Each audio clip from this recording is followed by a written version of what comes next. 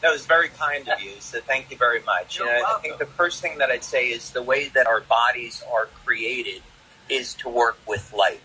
And this has uh, been known for thousands of years, uh, spiritual practices, but we know scientifically for the last 50 years that there's actually light that's being emitted by all living cells. So this was a discovery uh, that was made in Germany by a scientist by the name of Fritz Popp. And if you take plant cells, animal cells, human cells, and you put them into a room that's completely dark, and then use a device called a photomultiplier tube, which basically counts photons of light, you detect light being emitted from the human body.